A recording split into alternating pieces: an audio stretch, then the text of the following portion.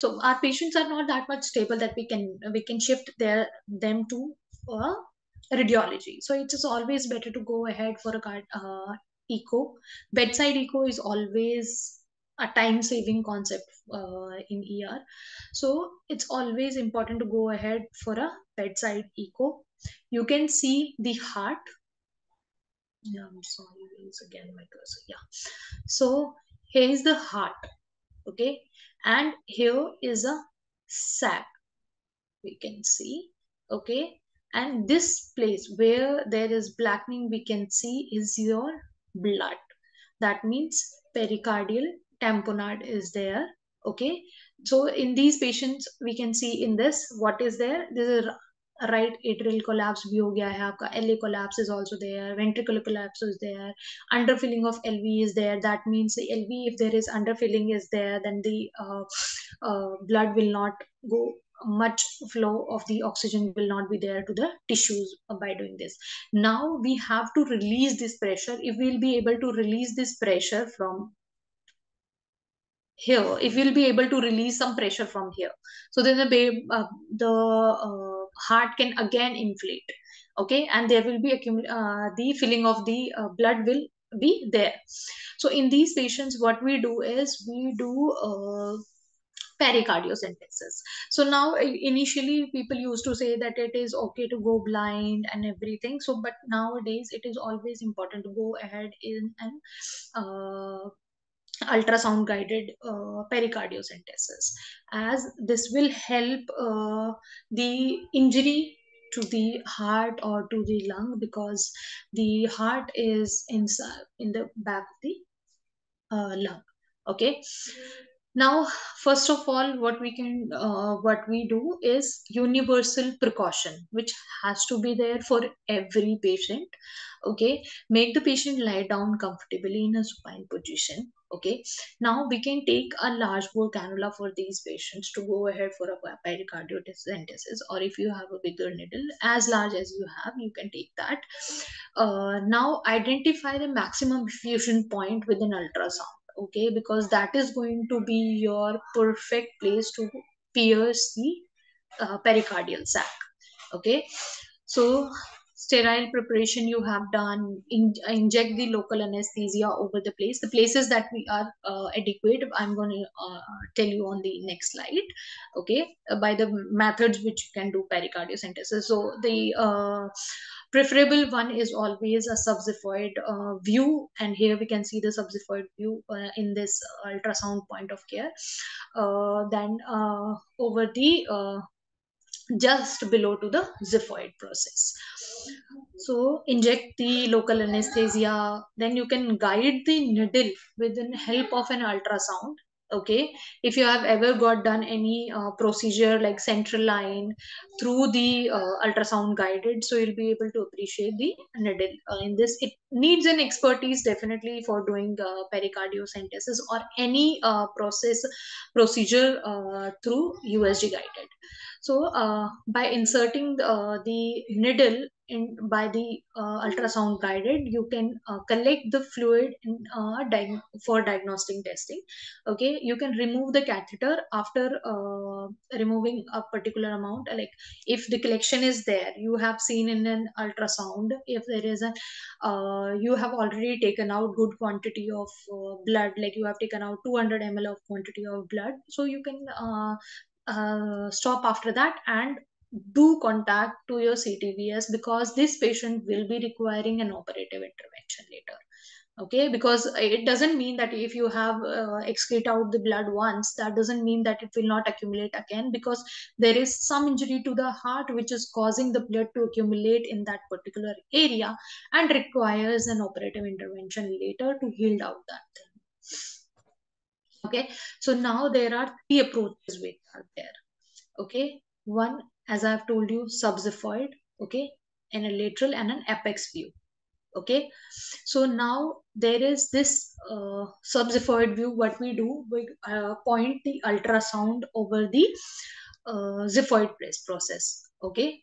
Now uh, pointing towards the left side of the shoulder. The probe has to be pointed towards the left side of the chest okay Now, once we have entered uh, seeing here, as in this picture, we can see that we are pointing here and this is the heart. This is your heart. This is your pericardial sac. This is your cavity which is filled up with blood. You insert it through the ultrasound uh, probe. Okay. Once you enter, you can see the uh, needle tip of the needle. Once you have entered here, try to take out the blood. Okay. And this is the under the xiphoid process. So now the next uh, and the risk involved is the liver in these patients because here is the lying down. What? Here is your liver which is there, right? Mainly. So now uh, in this view, what we do, we put the uh, probe, the ultrasound probe over the third, fourth intercostal space. Okay, we uh, see that yes here we have seen the probe is here okay? We can see here we can see the uh, blood. So once we have entered the needle into this excrete it uh, excrete the blood out okay? Uh, and again inform the CTVS surgeon. So here in this, the risk is more. Okay, here we see that the risk is only liver, which is mainly involved.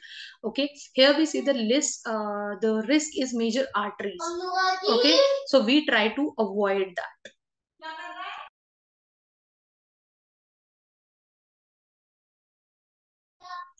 Okay, then uh, we have uh, the apical view which is there okay by this we can uh, point the uh, transverse uh, the uh, echo probe over the uh, apex unit.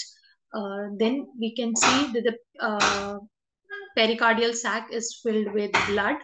Then we again going to excrete it out. Now in this part why we are curious because in this the lung is there okay uh, so we have to uh, make sure that the lung is on a safer place. So when we when we say that it's it's it's important to go ahead for it's important to use the probe as we by using the ultrasound we can save all the major organs okay like our liver in this this is the safest side to go ahead the subxiphoid view as the liver is at risk okay and these are the major components that we have the liver we can save by doing an ultrasound guided pericardiocentesis so now the major arteries which are there which get uh, hampered in an aortic in any trauma. So now there is one question. Firstly, I want to take that. Then we'll further move on to aortic uh, dissection or the aortic rupture. So now, uh, during chest tube placement, do you prefer using trocar chest tube or without trocar? If there are adhesions, which will you do while placing uh, chest tubes? Okay, so mainly the chest tubes, it is always and always preferred without trocar okay? Because one uh, when you when you are you using the trocar uh, chest tubes there can be a possibility that you can even uh, injure the lungs. When you are using without trocar the, the chances of the lung injury is less as compared to the trocar chest tube. Even if you do have an adhesions as in the uh, picture also we have seen always clear out with the finger okay first insert your finger and try to rotate it at that time you can even remove the adhesions which are there uh, at that time okay and uh, do you uh, negative pressure on chest tubes if there is pneumothorax with air leak I mean, I'm not understanding your uh, question at this point of time, uh, Dr. Arun, because I don't understand the meaning of air leak. I mean, if you are saying, are you saying that uh, if there is even uh, an open pneumothorax or something like that? Can you just reframe your question for me? BPF, sorry.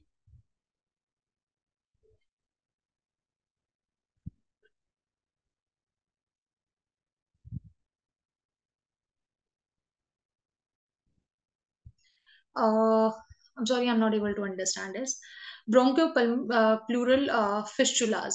So in these patients, uh, see, it is always important uh, as an uh, emergency physician, we do uh, take a surgery uh, call on these patients if we do suspect all these kind of a thing. Okay, it's always important to take expert advice in these scenarios. If you do have any uh, complications along with that definitely you should take a surgery call on that part. So we don't uh, take call on that part. Ideally in any uh, pneumothorax we connect it with a negative seal. If there is any exceptional thing which is there then we do take a surgery call on that part. So i would if you are an emergency physician i do advise uh, that not taking a call by yourself. Because again if you uh, uh, not if you are not going to connect it with a, a negative suction that you are making an open pneumothorax for the patient right? Because if you'll not connect it you are saying that if you can avoid connecting to the negative pressure then there is no point of putting a chest tube right? Then you are doing even harm to the patient. So uh, let's come on the another topic traumatic aortic rupture so now in these, uh, what happens? Uh, the when there is an impact to the heart, there can be a possibility to impact on the arteries as well or the aortic arch as well. So the heart, basically, aorta, if we say the, the anatomical uh, position is mainly the heart is connected to the aorta. The aorta is the one majorly which is supplying the over the uh, whole body okay. So if uh, enough motion is placed on the heart that that, uh, that i've said trauma to the heart it can injure the aorta as well. So the uh, the chances of survival are very less in these patients. Okay. If there is any mild trauma to the patient as there is uh, layers of the uh, aorta as well. If there is a complete tear of the aorta then the chances of the survival of the patient is very very less. And the uh, collapse in seconds okay so it is always important to identify it on time so now what can be the sign and symptoms? The sign and symptoms are the only uh, thing which can help you out in these patients. There, there will be patient will be complaining of severe tearing chest pain and which is between the shoulder blades as well. The patient will be saying that I feel that my chest is just going to burst because of the pain. It's it's very stretchy pain. My uh, and it is going on the back as well so in these patients, what you see that the rapid uh, drop in the blood pressure will be there. There will be pulse uh, tachycardia will be there, but there will be uh, uh this radio radial delay or uh, you can see the arterial delay will be there. If you palpate both the radials at once then you can see the uh, decrease in one side uh, of the pulse pressure in the other one. That we say that the radio radial delay is there that uh, uh, the decrease or loss of pulse or blood pressure on the left side compared to the right side.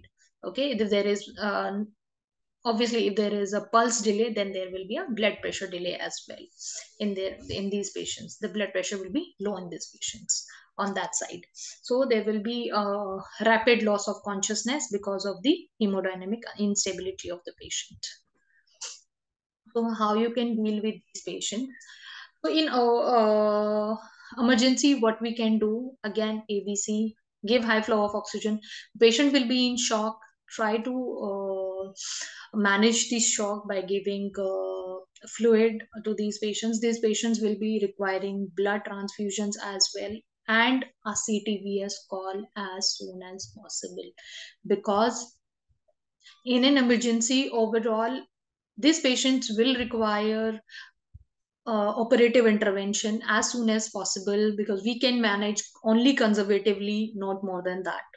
Okay? So call up the ctvs surgeon shift the patient for an or as soon as possible uh, as you will give blood, you will give fluid to the patients, you will start on inotropes, but still the management will be done by the CTVS surgeon in these patients.